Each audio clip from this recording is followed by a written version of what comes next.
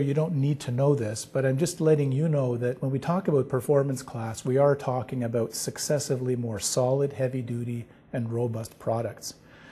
And, uh, and this is something we haven't been able to define before that we are now able to define through NAFS if we wish to take advantage of that property.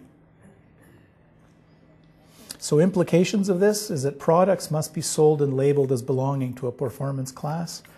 They must, if they are labeled as belonging to a performance class, they must be identical in every respect, except the glass, to the test specimen that achieved that designation regardless of whether those features are needed to meet code design loads.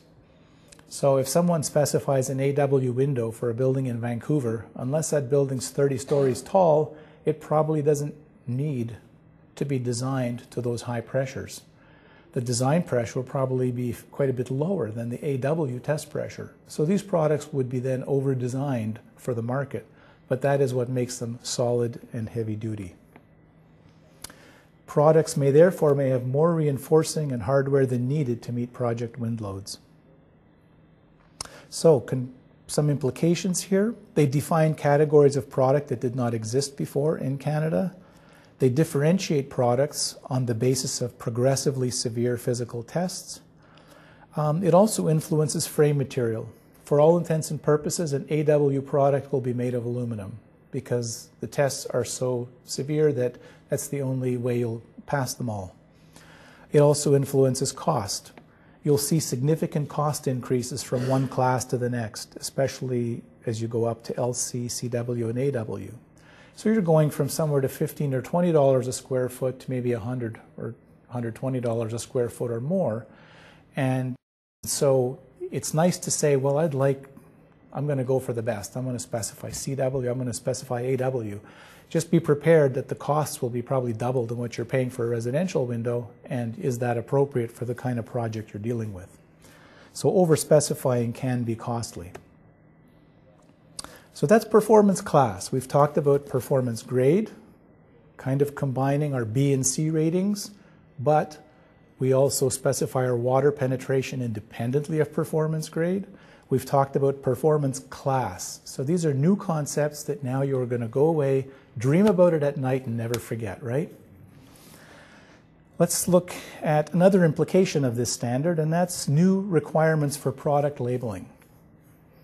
And NAFS introduces some new terminology called a primary designator. And the primary designator is your product class. Oops. Product class, performance grade, and size tested. This is the minimum information in something called a primary designator. That's all you would see on a product on an American made window in the States. If you looked at their performance rating label, you would see a class, performance grade, and a size tested, the size that that rating applies to.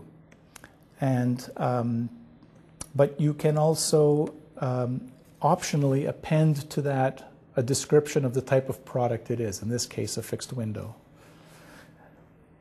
The other designator is, was designed for Canada. It was designed to report the additional properties that we've always been able to report in Canadian codes on Windows. Our B and C ratings, I guess you could say, our ABCs. So um, your secondary designator has positive and negative design pressure, water penetration resistance test pressure, and Canadian air infiltration exfiltration rating. The Canadian air tightness ratings under NAFS are more stringent than those in the US. So you have to meet a minimum level to qualify a product under NAFS in the US, but you have to actually reach a higher level of air tightness to give it one of the Canadian infiltration exfiltration ratings. So the secondary designator was designed to capture the additional things that were needed for Canadian code compliance. And and uh, a secondary designator, it's mandatory in Canada, optional in the US. Don't want to bore you with the details, but essentially, this is what would show up on a Canadian window or door performance rating label. You would expect to see a primary designator, followed by a secondary designator, and some statement that it conforms to our NAFS standard and the Canadian supplement. So something along those lines. And the formatting may change, but that type of information needs to appear, and it always must appear in the same order. Your primary designator with your class, performance grade, and size tested, and then your design pressure, water pressure, and air, and so on. So again, this is uh, just for your information. Most of you won't be looking at these labels too closely, but should you see them, at least you'll know what you're looking at and what should be there uh, when you do so. Something I haven't put into the presentation, but something you should know is that there are Canadian requirements within the NAF standard. Not everything was harmonized between Canada and the US. There are some things that Canada had that were more stringent than the US. And so for a product to be sold in Canada, if it's made in the US and qualified for NAFS in the US, that does not qualify it for Canadian code compliance. It must be also tested to the Canadian air infiltration, exfiltration rating, ease of operation, and several other tests. And it has to be labeled with both primary and secondary designators. And an American NAFS test does not give you all the information you need to, uh, to comply with this requirement. So American-made products do need to be either retested for sale in Canada, or if the manufacturers were smart and intending to export to Canada, they would have pre-tested them for both markets. Because our requirements are more stringent, of course, Canadian tested products can be sold in the US as they are. When it comes to labeling guidelines, if anyone's interested in Canadian NAFS labeling, there is a document uh, developed with industry consensus representing uh, parties across Canada, was issued in November of 2013 and uh, clarifies the Canadian labeling guidelines for code compliance. And that was necessary because many American companies did not know what to do for Canadian compliance. And even Canadian building officials and even window manufacturers, door manufacturers, are new to this new regime, so these guidelines were developed for that purpose. So that covers off NAFS. We've put that aside. New terminology, new rating system, new designations to describe it. The next question is how do we perform determine performance grades?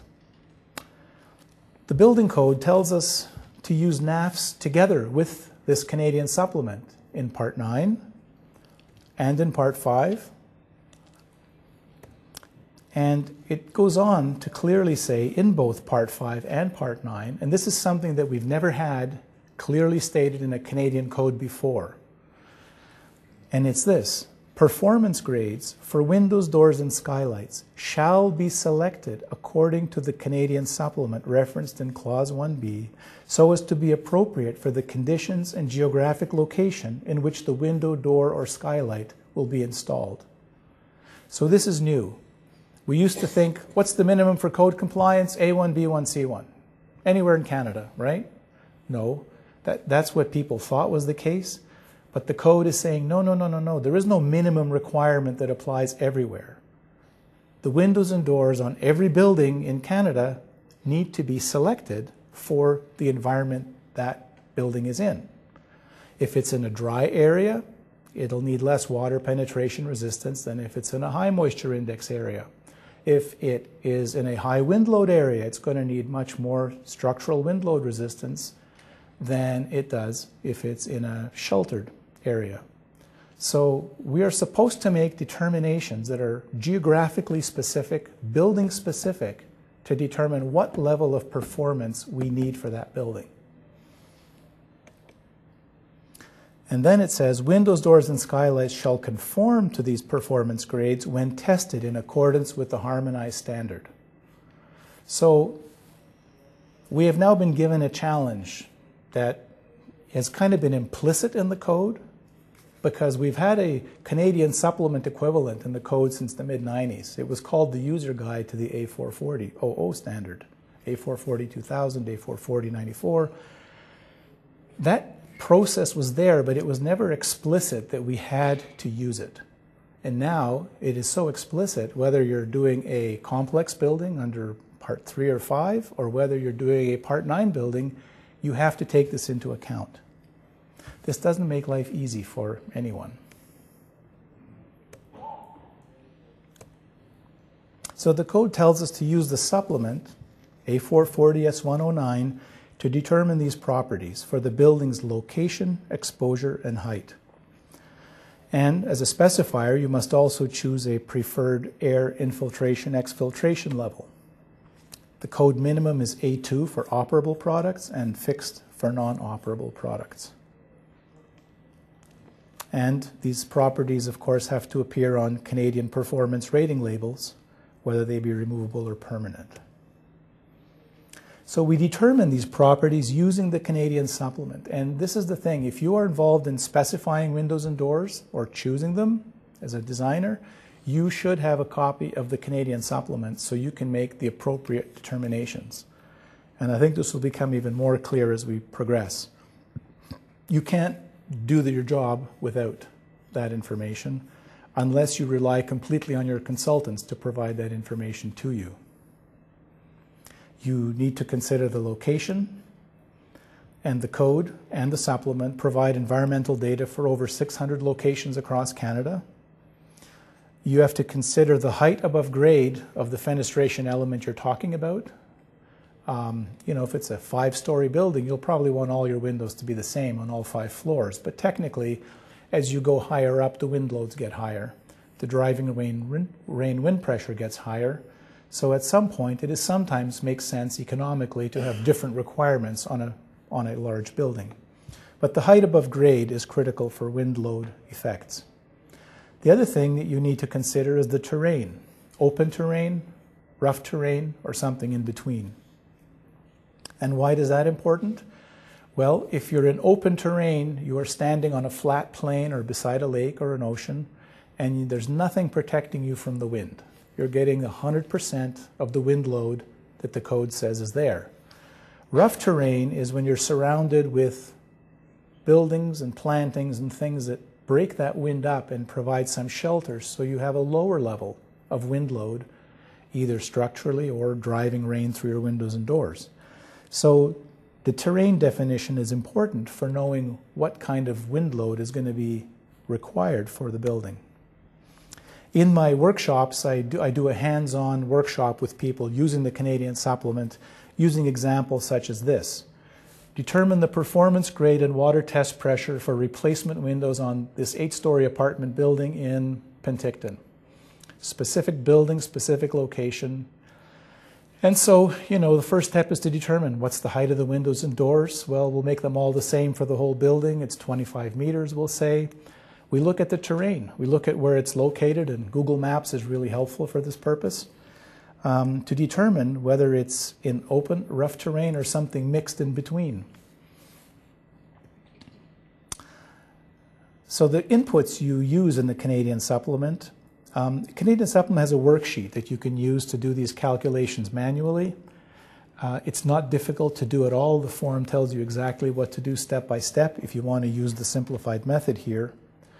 And in this particular project, um, you, your inputs would start out at a driving rain wind pressure of 80 pascals. That's what you'd find in the building code or the Canadian supplement. Um, and, and your hourly wind pressure is 0.45 kPa. And then when you factor that for the exposure and the building height, you end up with a performance grade and a water test pressure.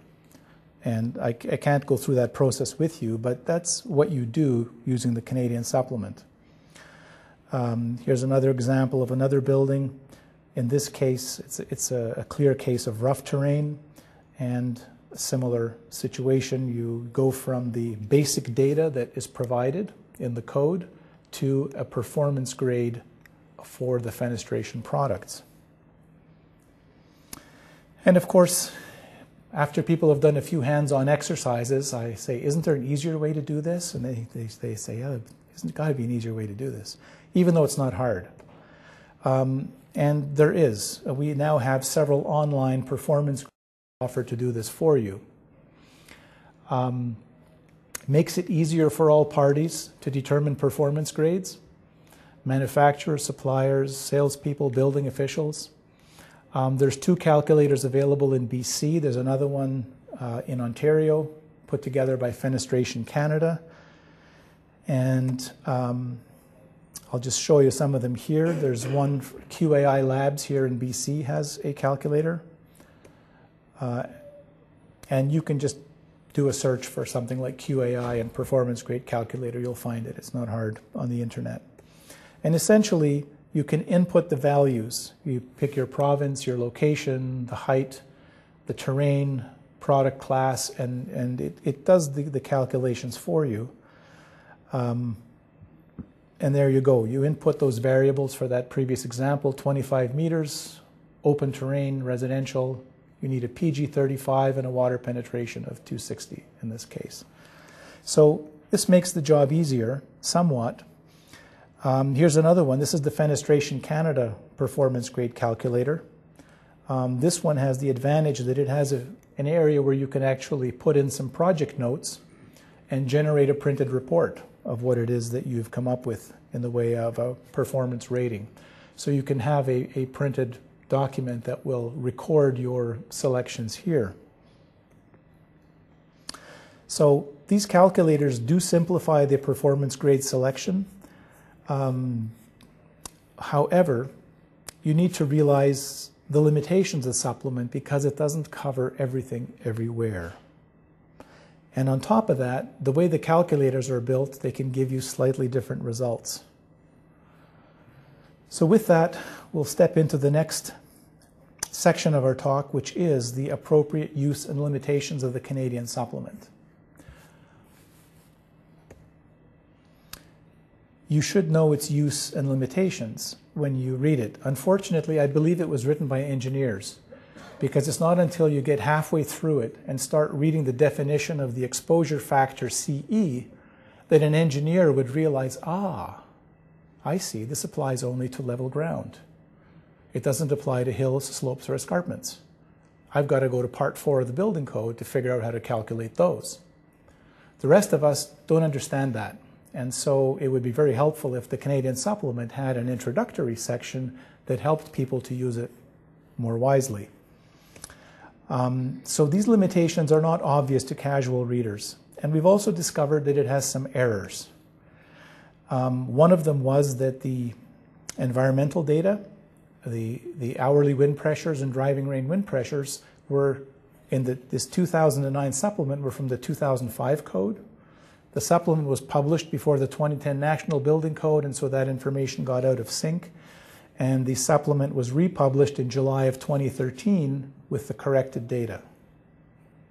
You'd think that would be good news, right? Unfortunately, the building code in BC only recognizes